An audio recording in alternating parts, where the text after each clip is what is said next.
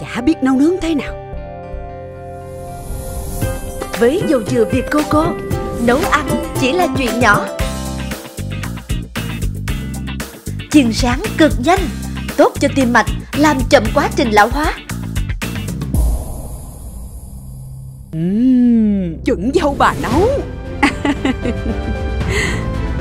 Dầu dừa Việt Coco cho món ngon mỗi ngày.